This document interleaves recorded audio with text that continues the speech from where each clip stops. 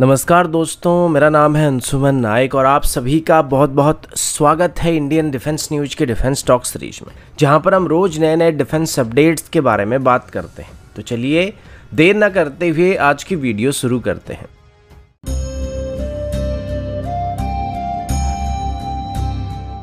आज की पहली अपडेट सबमरीन्स को लेके है। कल शायद आपने सुना होगा कि अभी इंडियन नेवी की तरफ़ से तीन एडिशनल कलवरी क्लास की सबमरीन्स को खरीदने का प्लान किया जा रहा है और इसके पीछे प्रोजेक्ट सेवेंटी वाई के डिले होना एक मेजर कारण है। और अभी सीधे तौर पर एआईपी सिस्टम से इक्विप करके तीन एडिशनल कलवरी क्लास के सबमरीन को खरीदने का प्रपोजल दिया जा रहा है। इसी बीच फ्रांस की तरफ़ से आज भारत को एक और ऑफ़र देने की कोशिश किया जा रहा है, जिसमें फ्रांस अभी सीधे तौर पर भारत को अपने न्यूक्लियर पावर अटैक सबमरीन्स को बनाने के लिए मदद करने का ऑफ़र कर रहा है। आप सभी को पता होगा कि अभी भारत छह न्यूक्लियर पावर अटैक सबमरीन्स को बनाने की, यानी कि एस को बनाने की कोशिश कर रहा है, लेकिन इसमें इस्तेमाल होने वाली ज़रूरी टेक्नोलॉजी अभी भारत के पास मौजूद नहीं है। तो इसमें फ्रांस भारत को मदद करना चाहता है। फ्रांस का कहना है कि वो अभी ब्राज़ील को, जिस बैरेकुडा क्लास की सबमरीन्स को ऑफ़र कर रहे हैं, सेम सबमरीन के डिज़ाइन को और इसमें इस्तेमाल किए जा रहे कन्वेंशनल टेक्नोलॉजी को वो भारत को ऑफ़र कर सकते हैं। जिनका इस्तेमाल करके भारत अपनी एसेसन को डेवलप कर सकता है। अब भारत को मेनली एक पंप जेट प्रपल्शन सिस्टम की ज़रूरत है क्योंकि न्यूक्लियर सबमरीन्स में इस्तेमाल करने के लिए रिएक्टर पहले से ही भारत डेवलप कर रहा है और ये टेक्नोलॉजी हमारे पास पहले से ही मौजूद है। तो, तो इसमें हमको किसी और से मदद लेने की ज़रूरत नहीं है लेकिन बाकी सभी सबमरीन टेक्नोलॉजी को फ्रांस भारत को ऑफ़र करना चाहता है। अभी ब्राज़ील को जिन बैराकुडा क्लास की सबमरीन को फ्रांस ऑफ़र कर रहा है, ये साइज़ में हमारे कलवरी क्लास के सबमरीन के मुकाबले काफ़ी बड़े हैं, लेकिन इनका ओवरऑल डिज़ाइन उन्हीं सबमरीन को बेस करके बनाया गया लेकिन इसमें 48 मेगावाट की रिएक्टर का इस्तेमाल किया जाता है, जबकि भारत अपनी होने वाले सबमरीन में 190 मेगावाट की रिएक्टर का इस्तेमाल करना चाहता है, जो की ब्राज़ील के सबमरीन के मुकाबले कई गुना ज़्यादा पावरफुल होने वाला है। 2015 से ही हमारी वॉरशिप डिज़ाइन ब्यूरो की तरफ़ से एक इंडिजिनस एसेसन को बनाने की कोशिश किया जा रहा था, लेकिन अभी अगर फ्रांस अपनी बैरकुडा क्लास के सबमरीन की डिज़ाइन को ही पूरी तरीके से भारत को ऑफ़र करता है तो ये भारत के काम को काफ़ी हद तक आसान करने वाला है और हम सीधे तौर पर इस डिज़ाइन को बेस करके अपनी न्यूक्लियर पावर सबमरीन को बनाने की कोशिश कर सकते हैं, जिससे हमारा काफ़ी सारा टाइम बच सकता है।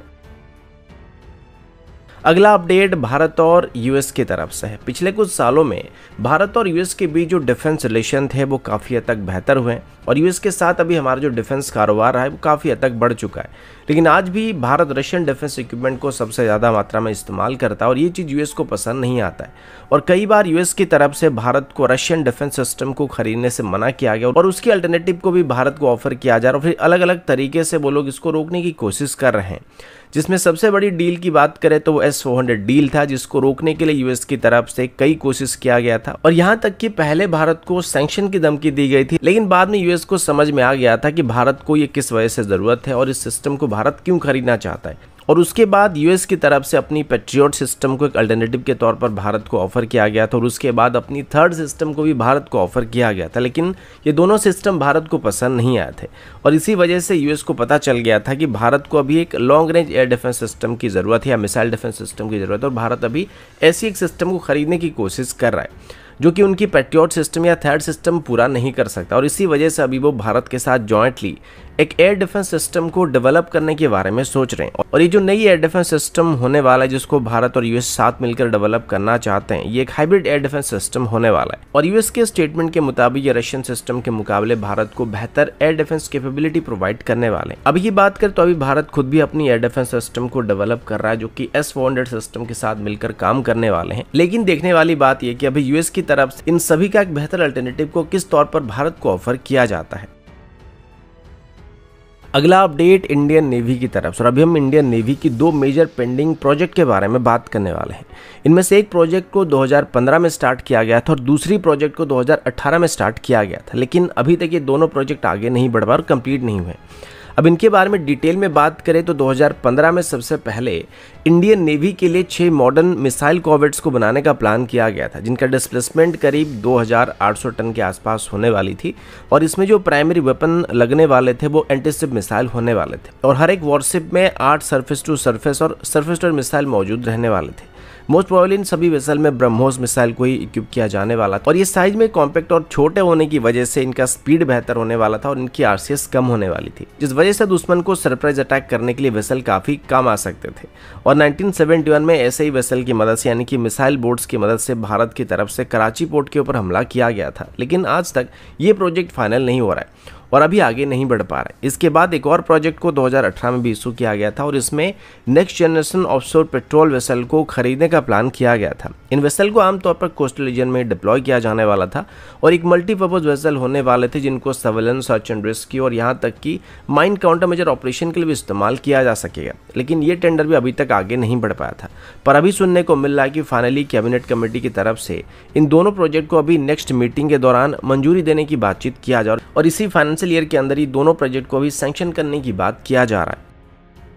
अगला अपडेट एक मिक्स्ड अपडेट होने वाला है, जिसमें हम आज की डिफेंस एक्विशन काउंसिल की मीटिंग में क्लियर किए गए कुछ मेजर प्रोजेक्ट्स के बारे में बात करने वाले हैं। सबसे पहले तो आज डिफेंस एक्विशन काउंसिल की तरफ़ से इंडियन नेवी के लिए एक मेजर प्रोजेक्ट को सैंक्शन किया गया, जिसमें इंडियन नेवी के लिए मैरिटाइम हेलीकॉप्टर को खरीदने के लिए डिफेंस मिनिस्ट्री की तरफ़ से एक एक्सेप्टेंस ऑफ़ नेसेसिटी को इशू कर दिया गया। इसमें एचएल की ध्रुव हेलीकॉप्टर की नेवल वेरियंट और लाइट यूटिलिटी हेलीकॉप्टर की नेवल वेरियंट को खरीदा जाने वाला है। इसमें अभी तक जो टेंडर है, उसको पूरी तरीके से आउट नहीं किया गया, लेकिन नेवी की तरफ़ से पहले से बताया जा चुका था कि वो एडवांस लाइट हेलीकॉप्टर की नेवल वेरिएंट को करीब सिक्सटीज के नंबर में खरीद सकते हैं, लेकिन लाइट यूटिलिटी हेलीकॉप्टर की कैटेगरी में अभी कितने हेलीकॉप्टर खरीदे जा सकते ये क्लियर नहीं किया जा रहा। इसके बाद आज इंडियन आर्मी के लिए भी डिफेंस एक्विशन काउंसिल की तरफ़ से एक बहुत ही बड़ी अनाउंसमेंट किया गया है और इसमें इंडियन आर्मी के लिए ए को खरीदने के क्लियरेंस दिया जा चुका है।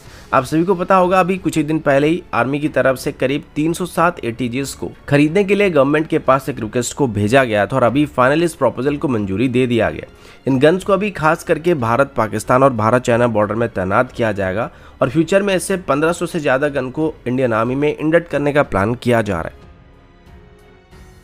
अगला अपडेट बहुत ही शॉकिंग अपडेट होने वाला है, क्योंकि इस अपडेट में दोनों तेजस और जे सेवनटीन इन्वॉल्व होने वाले हैं। आप सभी जानते हैं कि जिस तरीके से भारत और पाकिस्तान के बीच नहीं बनता ठीक वैसे ही जब भी हम तेजस के बारे में या जे सेवनटीन के बारे में बात करते हैं तो मामला थोड़ा गर्म हो जाता है। आप सभी को पता होगा कि अभी अर्जेंटीना की तरफ़ से लाइट कॉम्बेट एयरक्राफ्ट को खरीदने के लिए टेंडर को फ्लोट किया गया था, जिसमें वो एक लाइट वेट फाइटर की तलाश कर रहे थे। अब इस टेंडर में भारत की तरफ़ से अपनी तेजस को ऑफ़र किया गया था और सेम टेंडर में चाइना की तरफ़ से जे एफ़ सेवनटीन को ऑफ़र किया गया था। अब इसके अलावा इसमें सेकेंड हैंड एफ़ सिक्सटीन को ऑफ़र किया गया था, साथ ही रशिया की तरफ़ से अपनी मिग थर्टी फाइव को भी ऑफ़र किया गया था। लेकिन जो मेन राइवल था, वो तेजस और जे एफ़ सेवनटीन के बीच ही चल रहा था। अब इसमें तेजस थोड़े नेगेटिव साइड में था क्योंकि इसमें इस्तेमाल होने वाली यूके बेस्ड सिजेक्शन सीट और रेडोम सेक्शन की वजह से अर्जेंटीना खुश नहीं था क्योंकि अर्जेंटीना कोई भी यूके ऑरिजिन सिस्टम को अपनी एयरक्राफ्ट में इस्तेमाल करना नहीं चाहता है। और इसके अल्टरनेटिव को भी एच की तरफ़ से एरो इंडिया शो के दौरान अर्जेंटीनियन टीम को या डेलीगेशन टीम को दिखाया गया था और तेजस का कंप्लीट डेमोन्स्ट्रेशन उनको दिखाया गया था, लेकिन अभी चाइना में मौजूद अर्जेंटीना की एम्बेसी की तरफ़ से क्लेम किया जा रहा है कि उनकी इस टेंडर में अभी वो जे को सिलेक्ट करने वाले हालाँकि स्टेटमेंट अभी तक अर्जेंटीना की गवर्नमेंट की तरफ़ से, उनकी एयरफोर्स की तरफ़ से कंफर्म नहीं किया गया, लेकिन ये स्टेटमेंट चाइना के लिए अपॉइंट किया गया, अर्जेंटीना के एम्बेसडर की तरफ़ से दिया गया था। तो आगे चल के ये पता चलने वाला कि इस टेंडर में एक्चुअली क्या सच है, क्या झूठ होने वाला है, और क्या सच में अर्जेंटीना की तरफ़ से जे को खरीदा जाने वाला है फिर कोई और फाइटर जेट को खरीदा जाने वाला है। तो दोस्तों, अभी के लिए इतना ही, मिलता हूँ आपसे अगले वीडियो में, तब तक के लिए जय हिंद बंदे मातरम।